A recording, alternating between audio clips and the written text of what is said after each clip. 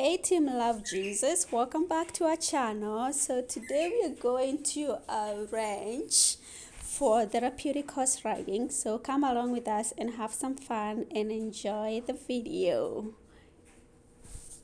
Horse riding is a form of therapy and it's mostly or only done for people with disabilities and it helps them improve or it helps them achieve their behavioral, their communication, or their social and mental goals.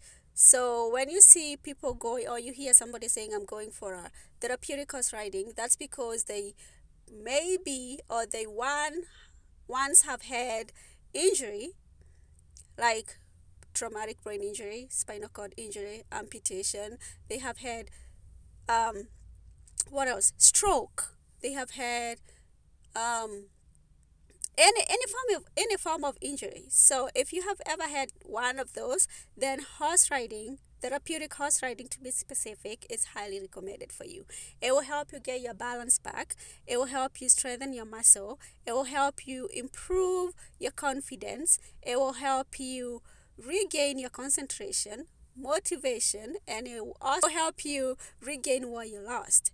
You might not fully ever get it back, but it's a process. It's a process that you have to undergo. So, like I was saying, if you're ever involved in an accident and you got your leg amputated and you're now depending on someone else, so you are dependent. So, this will help you regain your independence. So, it will help you regain your independence slowly but sure. Ready, Tammy? I'm ready. Sounds ready? Yeah. She always cheats, so whatever. okay, you ready, set, go! As fast as you can. Let's get those booties moving. Come on, Johnny. You go. That's it. There you go. Go, go. Come on, Trish. Move it, move it, move it. You like to move it, move it, move it. You like to move it, move it, move it, move it. Oh, my God.